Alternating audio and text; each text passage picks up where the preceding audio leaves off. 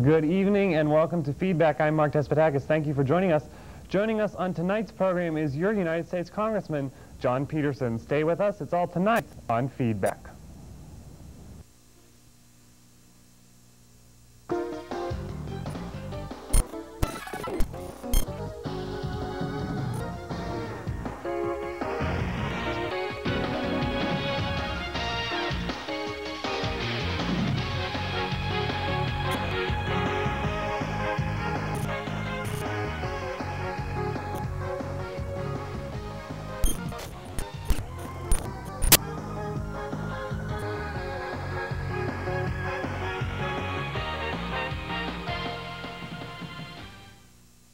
Welcome to Feedback this Tuesday evening. Good evening to you. I'm Mark Despotakis. From the shot, you may be able to tell, uh, maybe not actually, that we're on a new set here. We have moved actually about um, we go look at the new set and uh, Congressman Peterson, who will be joining us here in a few minutes. But um, this is a look at our, our new set, and you'll be seeing, of course, more of it uh, as we continue. Um, kind of a different for us. No TV monitor in the background, but the logo is still there. So you'll be seeing that uh, coming up in the next few months, of course.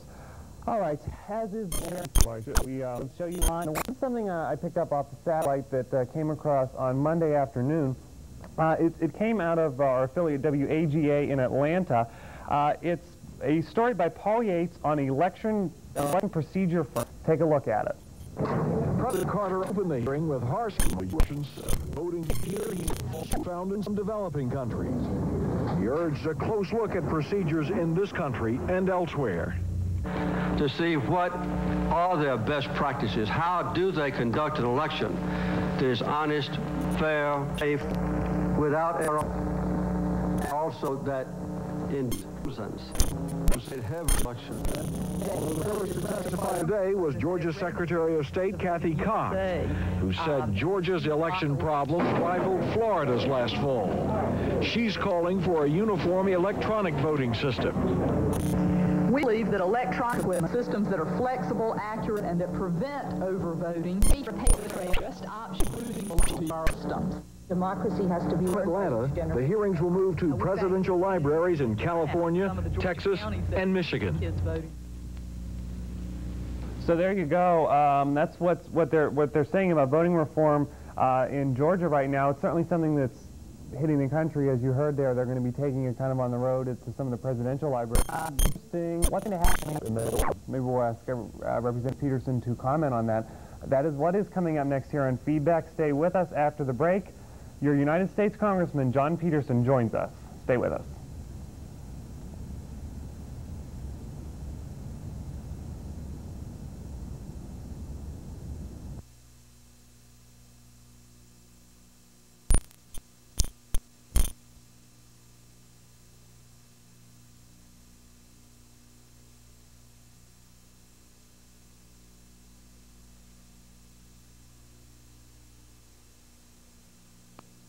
Clarion County and surrounding communities since 1950.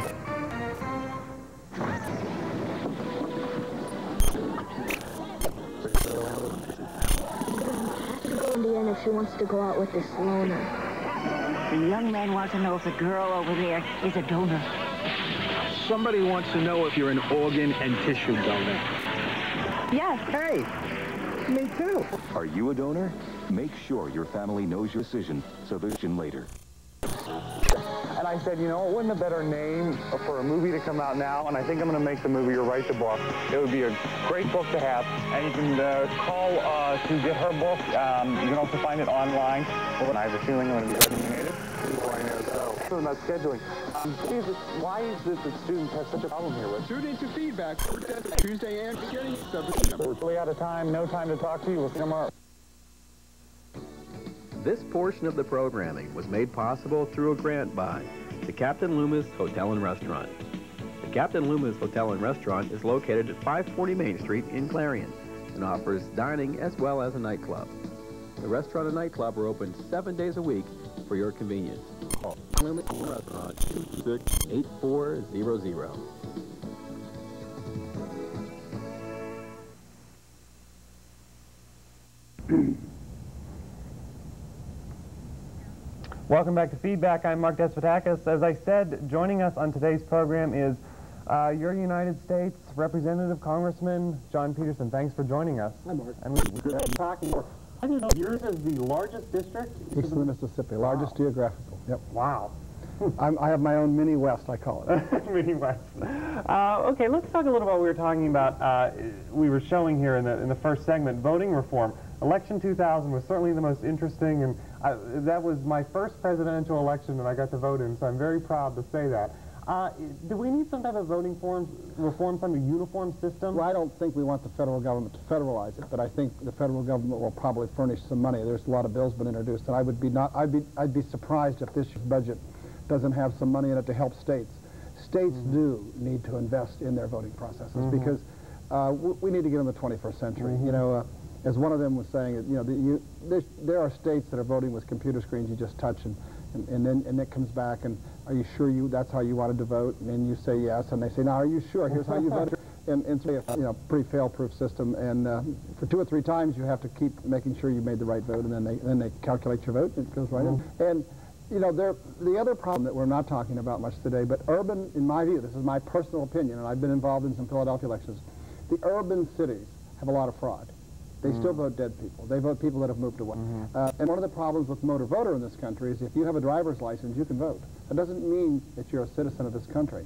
And, and those are those are additional things that, in, in my view, there's been a lot of uh, a lot of uh, false voting in the cities. Not so much in rural. In rural areas, I don't think it's Right. a big problem. But but in rural areas, we've certainly had punch cards, like we're a problem in Florida. We have old paper ballots in part of my district yet, where you put an X in a county's box. still and- using the, yeah, the paper ballots. Uh, and, and it's time to move on, but it is expensive. The old, the machines were very expensive, the big mechanical machines, uh, and they're kind of dinosaurs. I don't, they have to have somebody make parts for them now. The company's not in business.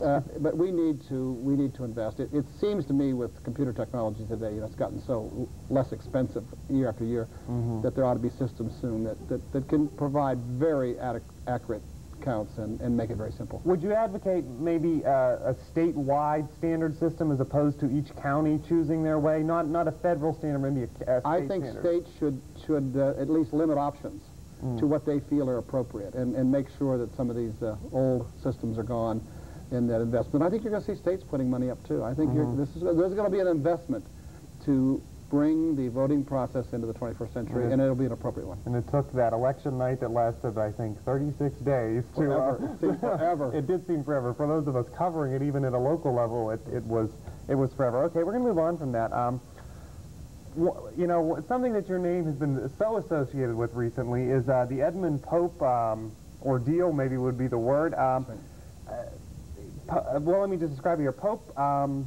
was in Russia accused of espionage by the Russian government. He was later pardoned by President uh, Vladimir Putin um, because he they U.S. officials said his life was in danger because he suffered from a rare form of cancer. Uh, now, you were one of his strongest advocates to get it, get him out of there, and there was a quote in a New York Times article some time ago when he said that you were one of the two heroes in winning his release. How do you feel about being called the hero? Well, it's, uh, I feel humbled. Uh, his wife Sherry and his business partner Keith came to me in April, in mid-April or late April, and, and told how they were getting no help, they had no hope, and, and they were unable to communicate with him. They didn't know that he even knew that they knew he was okay and was alive. And so we got started in the process, and we spent uh, a tremendous amount of time. My staff went with her to Russia in June. I went in August, October, and December, and, and spent a lot of time there, and did something I never thought of doing as I was growing up. I went to Russia and raised hell with the FSB, their unfair charges. He was not a spy, and their unfair judicial system was not giving him a fair trial. Uh, I mean, nobody in this country would go through what he did, and he was he was in Lefortovo prison for 254 days, and in, in about October he was a very sick man, uh, partially almost starved to death because of uh, of the terrible diet he was given. Until we started to be able to take food into him, his wife finally figured out how to get food into him, because you were allowed to take 32 pounds in every so many days, and she had people doing that regularly. She went over there four times. Was only was only allowed to see him an hour each time. They were tough. Wow. I was also in the courtroom when he was sentenced. Uh, in, in June, we thought we had him negotiated out through indirect sources outside of the State Department. Mm -hmm. And then uh, Putin made that proposal to the FSB, which is the most powerful agency over there. It's the replacement of the old KGB. And they were very upset. So he said he'd have to wait till till the trial went forward, so he couldn't interfere. But the trial went on for two months. You know, it, it didn't start until October, and it was clear into December. And, and we were very concerned about Ed's bone cancer. Fortunately, he's, he's okay. His mm -hmm. bone cancer has not come back. He's at high risk, though, for two years, the doctors say, because of the tremendous stress factor.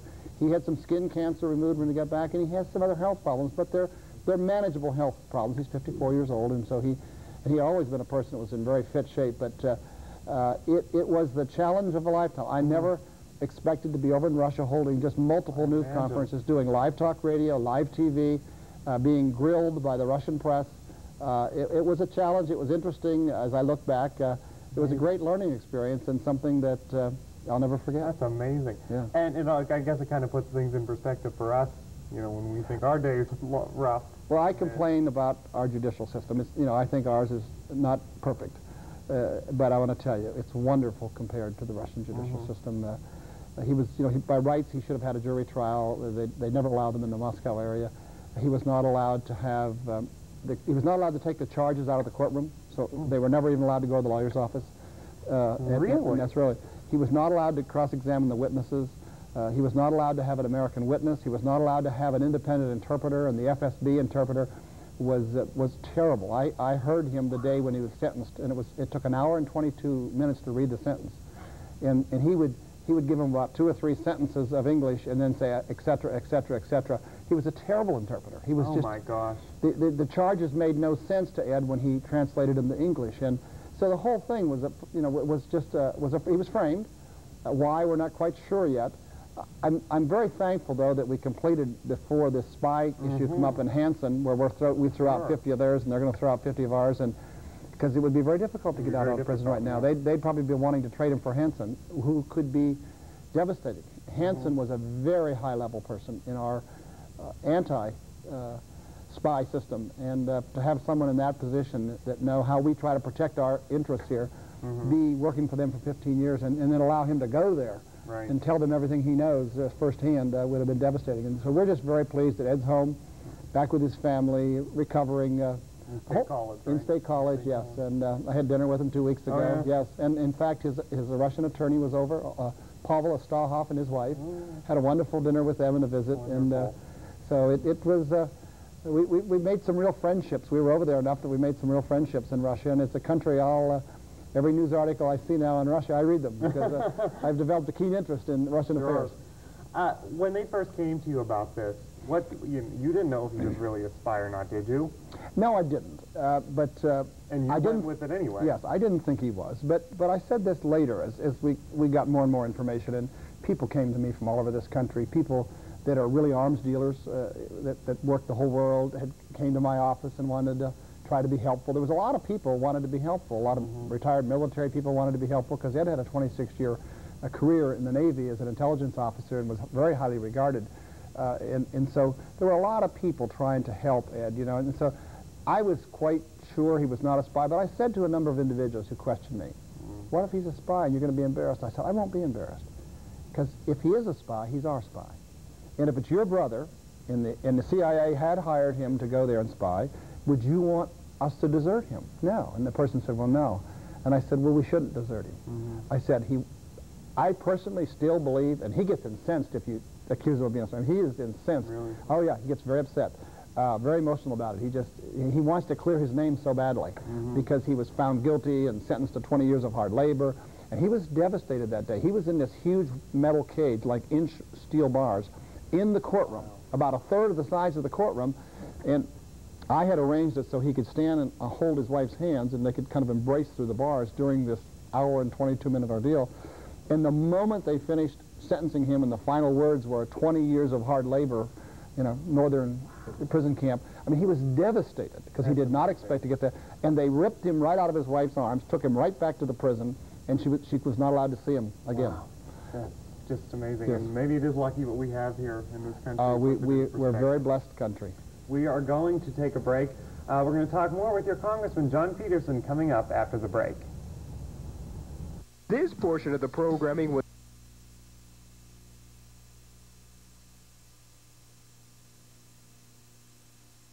Den is located on Old Route 66 in Clarion and offers all-day delivery. Phone 226-5555.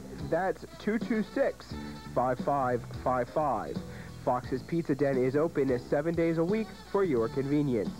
Phone 226-5555.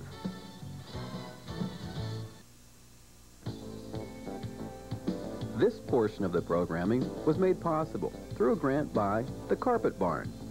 The Carpet Barn is located at 470 South 5th Avenue in Clarion. The Carpet Barn is open Monday through Saturday for all your carpet needs. So call the Carpet Barn 226-7332.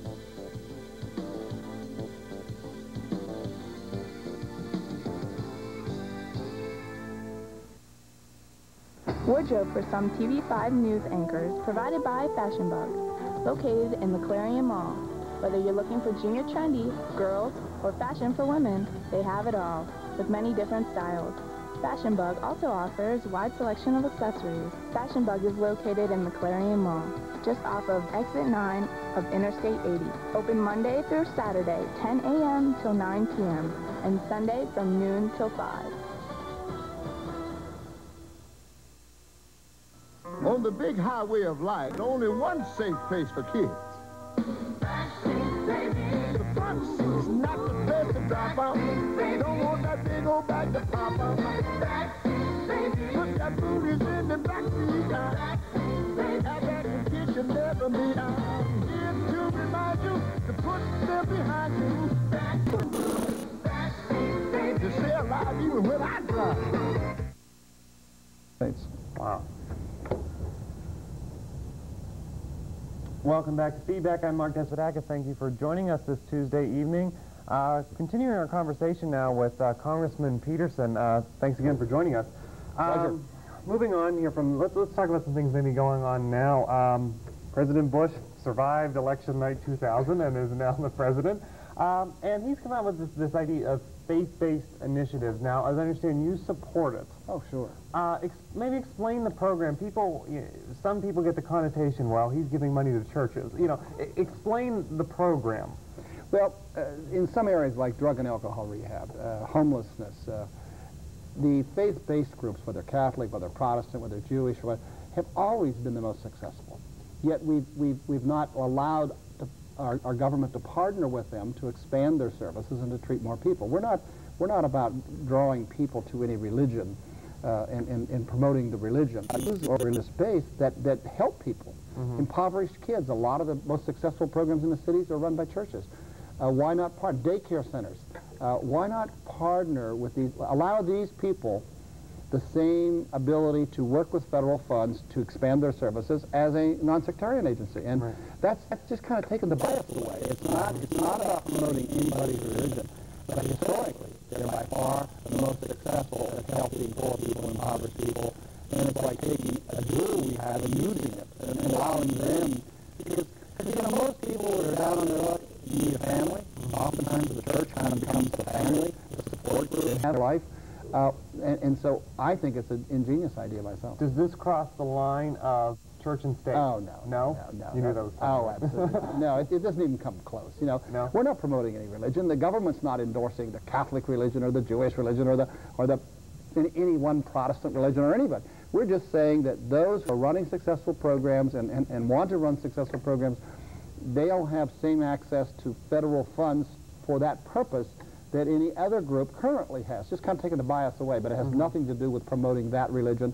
The money will, will not be about getting people to agree to attend that church or go to that church for any, help helping those people. The Salvation Army's been doing it forever. Right. I mean, look, just think of the work the Salvation Army does. Right. And, and why should we be biased against the Salvation Army? Their whole goal is to help people. Right. All right. We have about three minutes left, so I'm going to move on from that. Uh, the budget.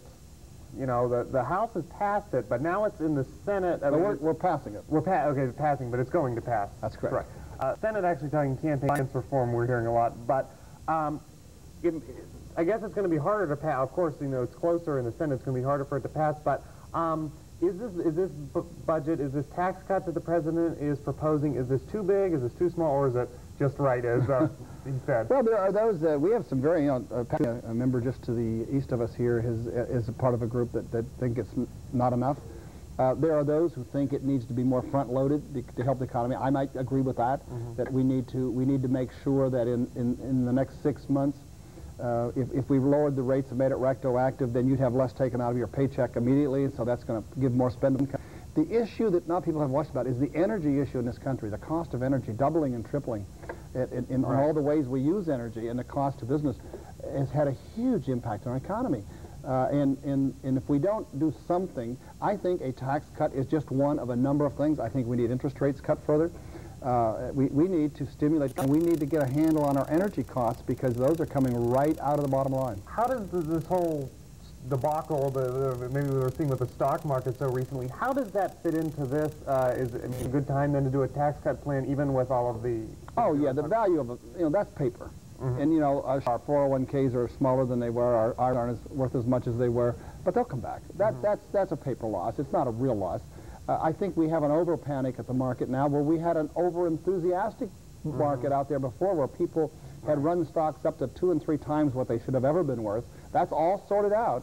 Now is the time for people to get in and, and buy back property and to liquidate some property so I can put some money in the market because I mm -hmm. think it's a perfect time to buy in. It's low. And, and, and that'll, that money will drive it back. There's a lot of people pulled money out of the market. They'll put it back, and the market will come back, and, and it'll come back appropriately. I think there's an over-concern now and people pulling away from it.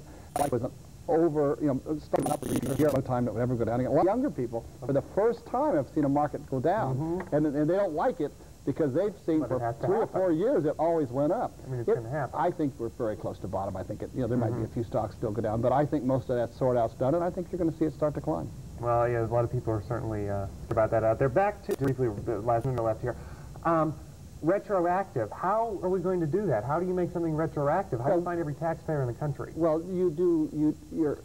We have already passed the the, the overall broad-based tax mm -hmm. cut. We're going to do marriage penalty now, and, and that'll, that'll, well, then your, your employers will get bills, and where you've already paid too much tax, you may not pay any taxes for a few months. That'll put money right in your pocket. See, if you've been overpaying for the first four months because it's retroactive, mm -hmm. then the new charts will come out to the employers, and, and so you'll pay less and or maybe no tax will catch Trust is going to, but I mean, are they going to? Is this all going to be done correctly? Or you're well, it all sorts out at the end, it all sorts out at the end of the year. It all sorts out at the end of the year. But yes, I, I think there'll be an effort to get employers up to speed quickly. So much of it's on computers today. It's not right. it's not all paper. It's a matter of punching in and uh, payrolls and and so they just crank out a check and you'll have overpaid for this. Well, thank you for joining us. That's certainly been interesting. A lot more topics we could have talked oh, yeah. about. We'll have, to have next time uh, you were in town.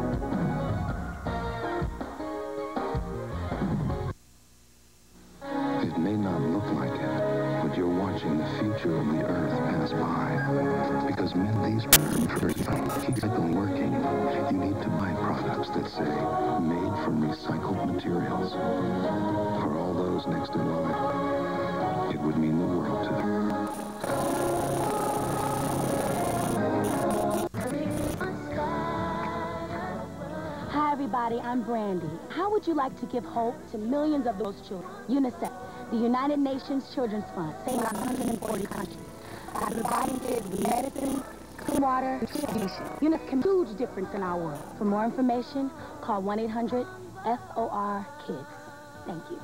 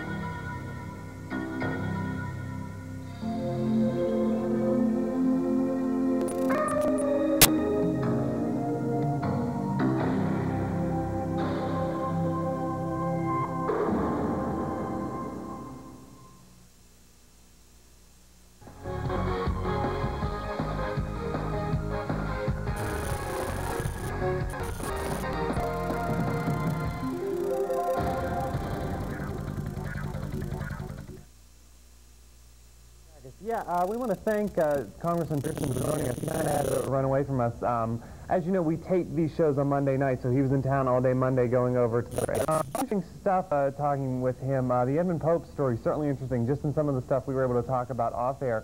Um, certainly fascinating, so we want to thank him for coming. It's great when he's in town that we can get him on here. As you may remember, the last time we had him on here, was uh, via satellite DC when we had him on. Um, join us on tomorrow's show, uh, Clarion County Dairy Princess Holly Dieter will be joining us. Now, you, you, may have heard of that, you may not have heard of that. We're going to explain uh, what she does, what her role is, um, coming up tomorrow on the Wednesday program. Stay tuned, TV5 News coming up next with Amanda Miller. And on also, I will have a story on that coming up next on TV5 News. Thanks for joining us. We'll see you tomorrow night.